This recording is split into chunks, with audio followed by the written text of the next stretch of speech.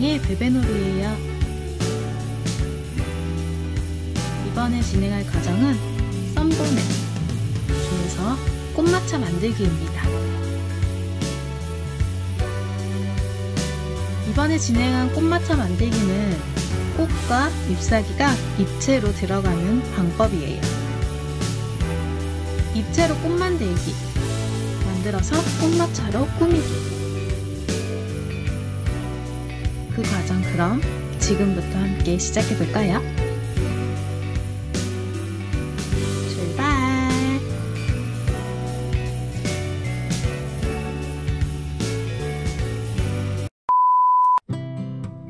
먼저 패턴을 준비합니다.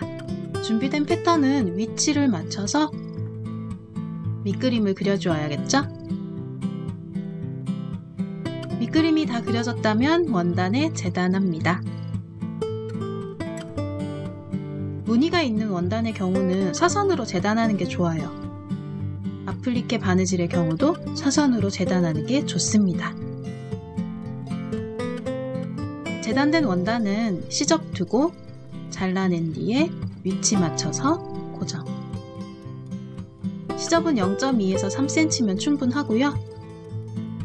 고정된 패턴은 아플리케 바느질로 바느질을 진행합니다.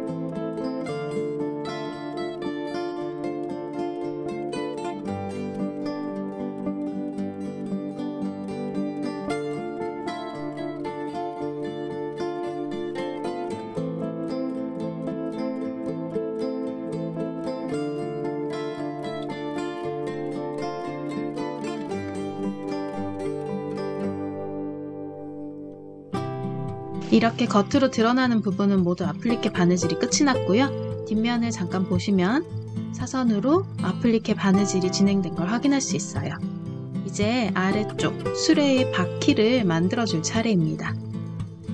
원형이고요. 원 바느질이 힘드신 분은 조금씩 조금씩 상태를 봐가면서 밑에 원단과 위에 원단이 서로 울지 않도록 잘 체크하면서 바느질을 진행하는 게 좋습니다.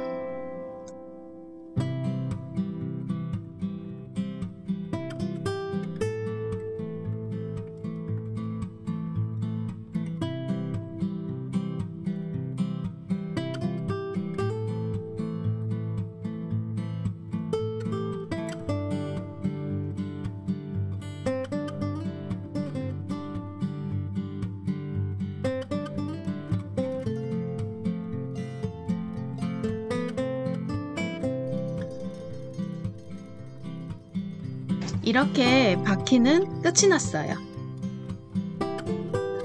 끝이 난 바느질은 안쪽으로 한 번 더 역 아플리케로 바느질을 해줘야 하는데요. 그러기 위해서 구멍을 뚫어줍니다.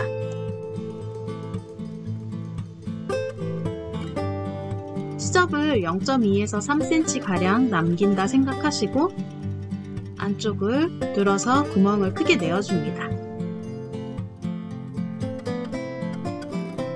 뚫어진 구멍 안쪽으로요. 원단을 넣어줄 거예요. 이때 주의할 점은 원단이 울지 않도록 바느질을 진행하는 겁니다. 이렇게 이 부분은 역 아플리케로 바느질을 진행합니다.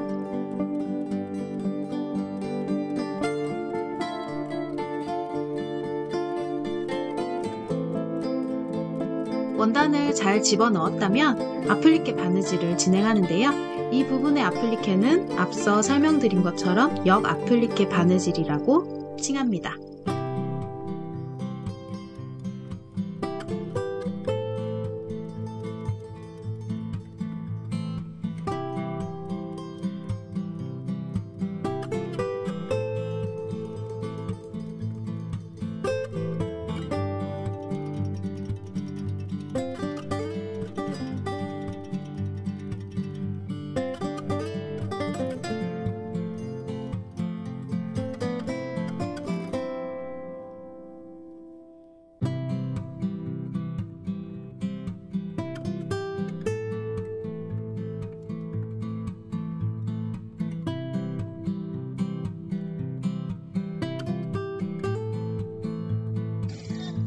이렇게 역 아플리케로 바퀴의 테두리를 만들어 주었어요.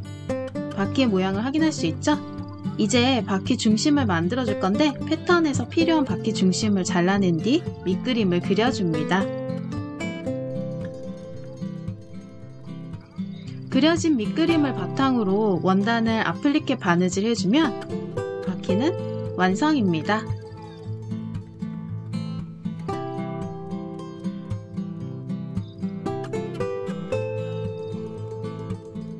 이렇게 바퀴는 완성되었어요. 영상에서처럼 입체적으로 만들어진 꽃과 잎사귀를 위치 잡아주면 꽃마차는 완성됩니다. 그럼 이 입체 꽃과 잎사귀 만들기 시작해 볼까요? 필요한 원단을 준비합니다. 지금 영상에서 베베놀이가 재단하고 있는 건 병뚜껑인데요. 이런 뚜껑을 이용하셔서 원을 그려주시면 되는데 이 뚜껑의 사이즈는 5.5cm입니다. 지름이 5.5cm 되는 원으로 재단을 해서 그림을 그려주었는데요. 5cm, 6cm 상관없이 재단해서 준비를 해주시면 돼요. 준비된 원단은 가장자리 0.2cm가량 안쪽으로 들어와서 스침을 해줍니다. 홈질하듯이 널찍널찍하게 바느질을 진행하시면 되고요. 원 전체 지름을 전부 다 한 바퀴를 둘러서 바느질을 해주셔야 해요. 바느질이 끝이 났다면 당겨서 뒷면, 즉 겉면 쪽으로 바늘을 찔러 넣습니다. 이 과정을 4등분 해서 반복해 주시면 돼요. 어떤 식으로 꽃이 만들어지는지 이해가 되시나요? 다섯 등분 하시면 꽃잎이 다섯 개 나오겠죠? 베베놀이의 경우는 4등분을 해서 4장의 꽃잎으로 완성해 주었어요. 지금 작업하고 있는 건 비즈를 담기 위한 통인데요. 이날 작업하면서 여러 가지를 많이 빼먹었더라고요.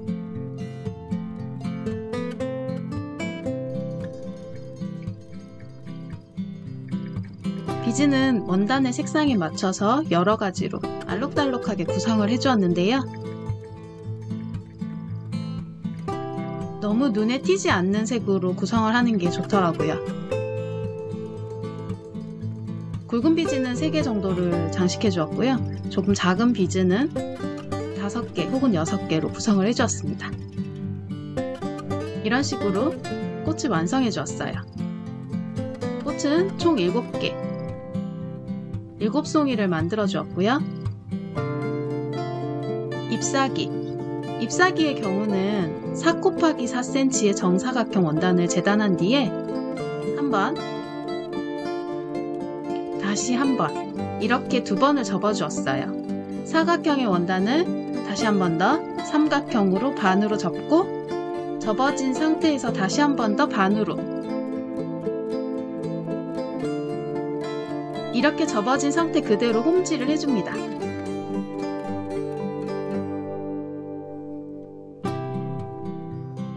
시침하듯이 널찍널찍하게 바느질을 해준 뒤에 그 상태 그대로 당겨서 매듭 지어주면 돼요.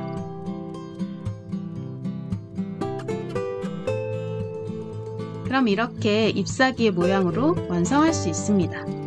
간단하죠? 잎사귀는 하나, 둘, 셋, 넷, 다섯 개. 총 다섯 개를 만들어 주었고요. 꽃은 일곱 송이. 이렇게 만들어진 꽃과 잎사귀를 예쁘게 배열해주면 완성이에요.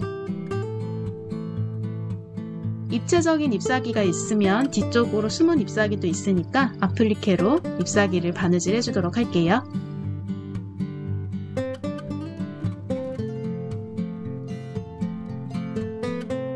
이렇게 잎사귀에 아플리케 바느질이 모두 끝이 났고요. 이제 이 위에 입체적으로 잎사귀와 꽃을 장식해주면 됩니다.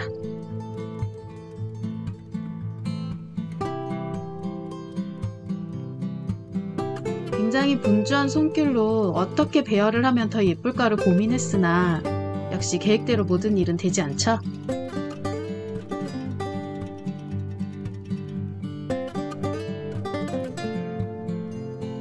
이렇게 예쁜 배열로 장식이 되어져 있는 것은 저의 계획.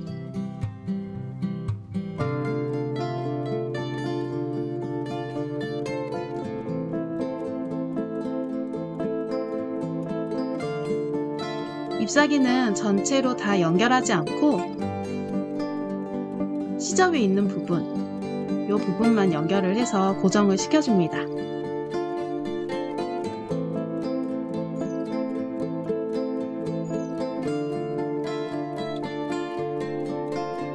어떤 느낌으로 연결이 되는지 이해가 되시죠?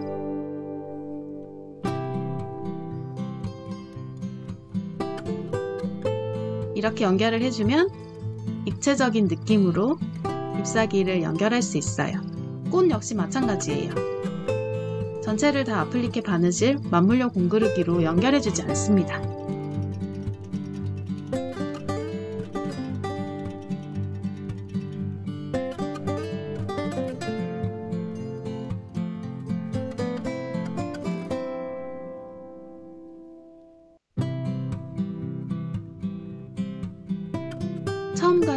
많이 달라진 모습이지만 꽃마차는 완성되었어요. 이제 마지막 과정인 바퀴를 꾸며줄 건데요. 바퀴에 바퀴살을 만들어줄 거예요. 이렇게 살을 그려준 뒤에 검정 수시를 이용해서 아웃라인 스티치로 수를 넣어주었습니다. 수놓기 조금 귀찮다면 피그마 펜을 이용해서 그려주셔도 되는데요. 퀼트에는 또 이런 수가 조금 들어가야 예쁘지 않나요?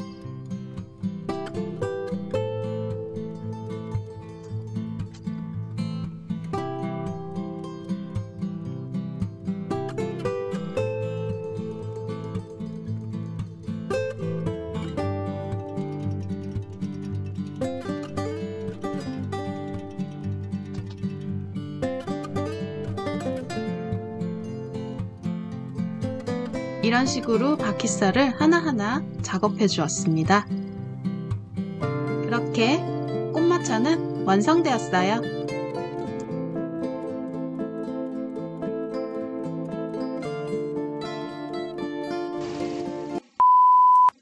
지금까지 꽃마차 만들기의 베베놀이였고요.